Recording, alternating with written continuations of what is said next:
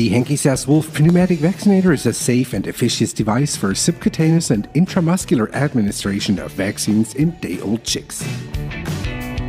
Before starting to operate, unpack the device and all of its accessories. Check if the materials are complete before first usage. Make sure that your compressed air system is in good condition and supplies clean and dry air.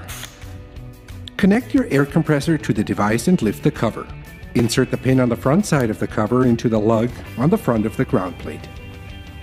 Unscrew the needle nut from the syringe. Take a needle and insert it into the needle nut.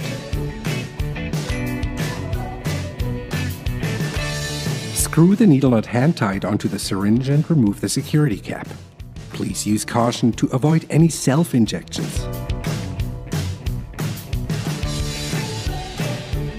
Turn the device to the manual mode.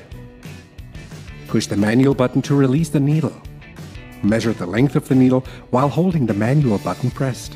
If the needle length needs to be adjusted, release the manual button. Open the cover and loosen the two screws on the syringe plate. Adjust the needle length by moving the syringe plate. A scale on the ground plate will help you to adjust the needle length. You can add or reduce needle length by moving the plate. After finishing the adjustments, tighten the screws.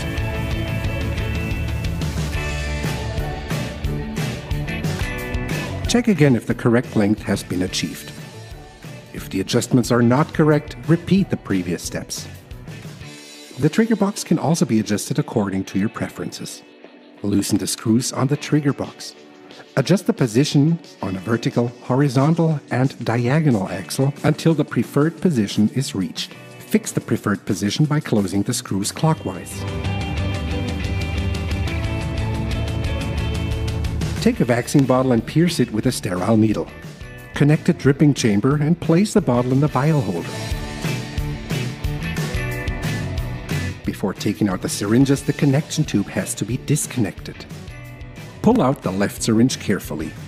Take out the piston from the syringe body. Insert some vaccine into the syringe body to pre-fill it. Adjust the dosage of the left syringe to C. The syringe is equipped with an adjustable dosage volume of 0.1, 0.2 and 0.25 milliliters. Attach the tube to the V-shaped connection and insert a blind plug into the outlet, which will later on be connected to the right syringe. Push the piston several times until the syringe is completely filled with vaccine. You can simultaneously check the dosing accuracy by pumping the vaccine into a measurement cup. Connect the dripping chamber to the second vaccine and let the liquid flow out until it almost reached the end of the tube. Use the right syringe and repeat the same steps over again. Insert some vaccine into the syringe body to pre-fill it. Adjust the dosage of the right syringe to C. Push the piston of the right syringe manually until vaccine comes out at the front. Keep on pumping until no air bubbles are visible in the tube anymore. Insert both syringes into the fixture. Connect the two syringes by using the provided tube. To connect the syringes, press the tube completely into the connector. Guide the vaccine tubes through the clamps at the back.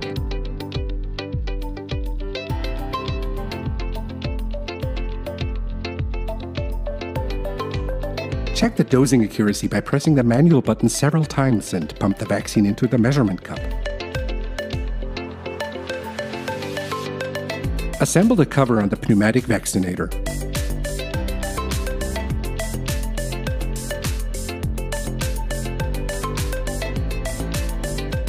The day counter indicates the number of vaccinations completed in total.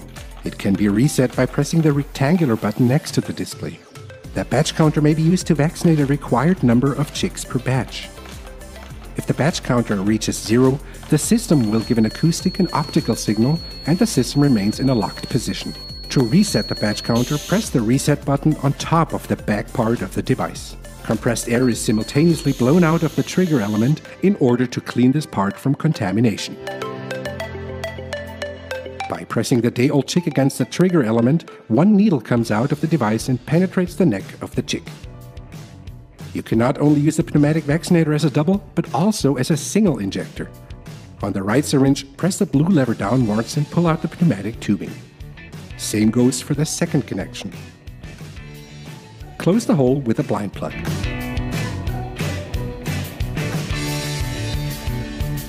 Disconnect the tubing at the front of the two syringes. Pull out the tube while holding the lever pressed. Take another blind plug and push it into the connection of the left syringe. Now, it is possible to operate the pneumatic vaccinator as a single injector using only one syringe and one cylinder. Check the dripping chamber daily. If necessary, release the drain water by opening the valve at the bottom. Close the valve properly after draining.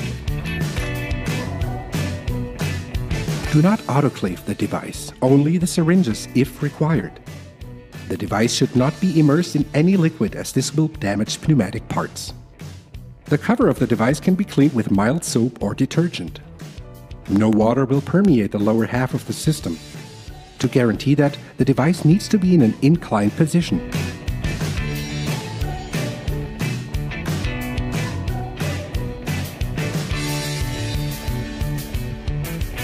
Clean the interior parts by wiping it with clean water or a mild detergent to remove contaminants.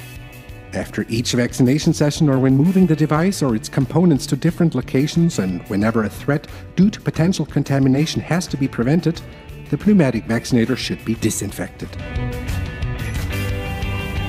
Spray the device thoroughly.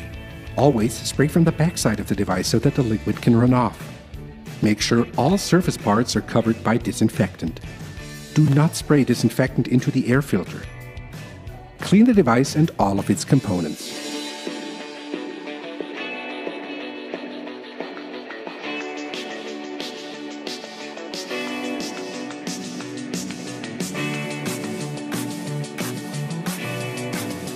Dry all parts of the pneumatic vaccinator with compressed air or with a soft towel.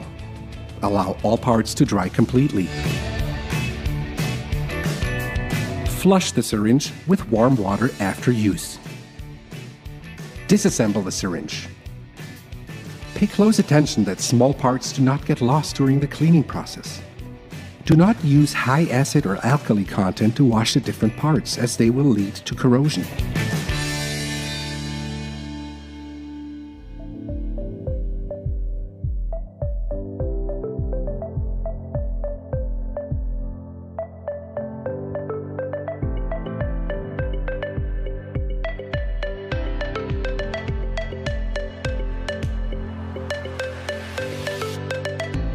Each component should be washed in a solution of mild detergent.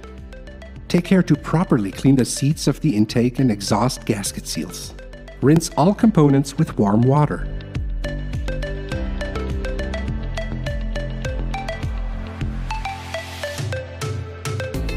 Lay all parts of the disassembled syringe in a pot.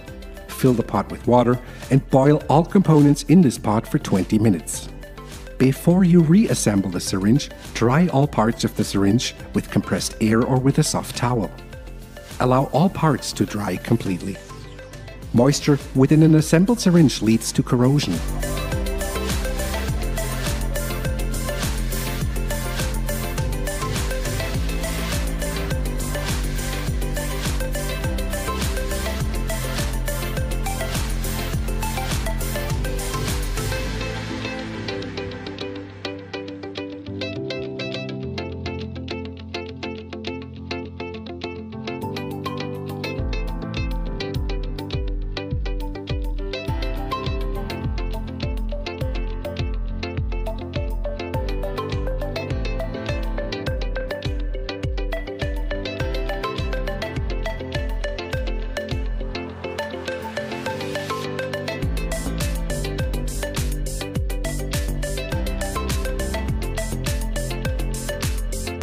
Apply a drop of silicone oil to the O-ring positioned on the plunger.